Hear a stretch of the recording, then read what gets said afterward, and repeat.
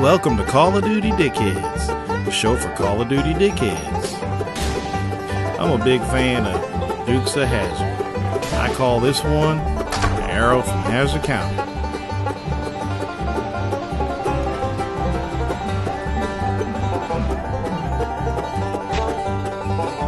Hey, there's a green light on the wall. It's right to your left. It's blinking, green light.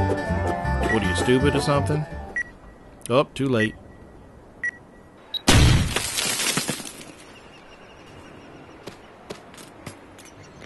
Dickhead. Now, I'm a huge fan of explosives. One of my favorite new explosives is none other than the Bouncing Betty. The Bouncing Betty is a 360 degree spinning flying saucer from hell.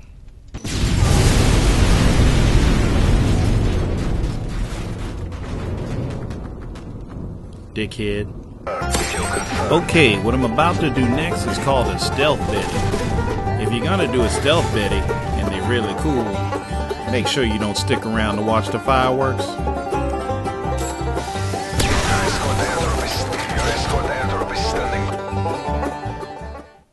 Dickhead. Okay, I've heard of suicidal tendencies before, but this is downright stupid. Look at this fool. Bam!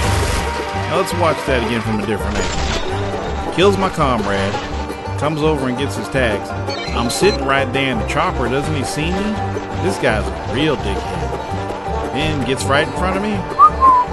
Turn around, fella.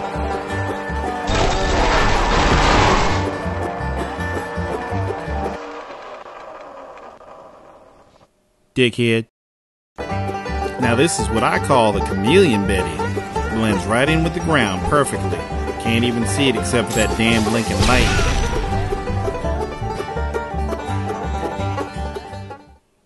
Dickhead.